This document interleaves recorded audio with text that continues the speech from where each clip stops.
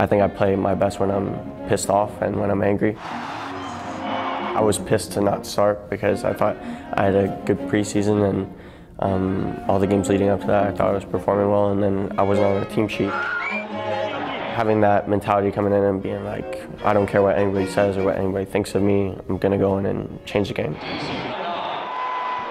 Really just coming on like I think we needed to get a win to start the season off right because those three points, those first three points are very important to any season.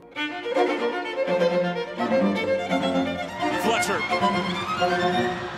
It's a myriad of youngsters on this left-hand side for DC. Ku-DiPietro again. Looking to stand one up. It's Benteke! There's your late equalizer from the home side. And with potentially eight minutes of stoppage time, who knows what else this has.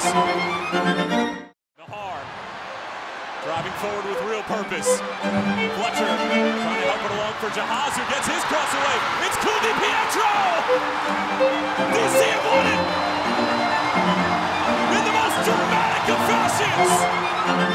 The biggest thing, like for me, is like an awestruck moment, is when I'm driving by the stadium right before the game is about to go on, and uh, I'm like, I used to come to these games and I was like, I'm, I mean, fanboying a little bit, but you know, like, uh, or never even think I would reach that level. Rio Di Pietro off the bench and into the headlines again.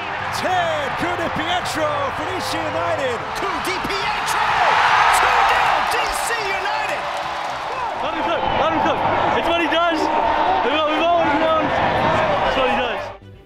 I mean, it feels great, obviously, to be selected for that list, but uh, I think the most important thing is to give recognition to everybody behind me, my teammates, uh, the coaching staff, my family, my friends, uh, my girlfriend especially, and just helping me get to this point because, I mean, during my whole career, like, especially at the beginning, nobody really thought like I would do anything, especially just going into Loudoun on a, under a Loudoun contract. So to get to this point is really amazing for me. Individual accolades don't really matter too much to me. I mean, obviously it's still an honor, but as long as the team is doing well and we're striving for playoffs and going for playoffs and eventually an MLS Cup, that's the most important thing. So your family and your friends had a pretty specific favorite moment of the season. Yeah. What's been your favorite moment of the season? To come back from injury and then finally like bounce back in an even better way than I imagined, that was probably the best thing for me to because I was dealing with the injury and then I came back and you know your confidence is kind of low coming back because you haven't touched the ball in months and then uh, good things just started to happen because I was doing the right thing so. Di Pietro has rifled that past Andre Blake. Di Pietro into the net. Oh, Ted Di Pietro. Oh, oh, there's a bit of a giveaway, a huge giveaway. Benteke and Tapman, and a huge gap inside the area. Di Pietro, edge of the box, uses the outside of the foot. Klich!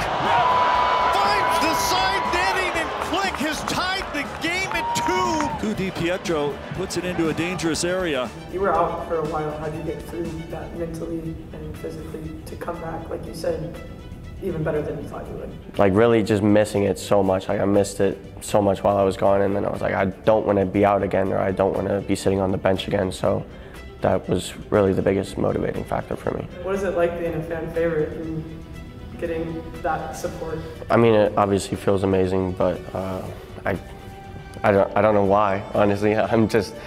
Sometimes I'm quiet. Sometimes I'm really rowdy and crazy. But uh, I don't know. It kind of just came out of nowhere, and I love it, and I really appreciate it. And I always love our fans, and uh, especially them showing up to games like last year when we were at the bottom of the table. And at the Cincy game, I remember I was starting, and it was pretty much a sellout crowd, even though we're at the bottom of the table. And I think that doesn't happen a lot in other cities, so it is pretty special to happen here.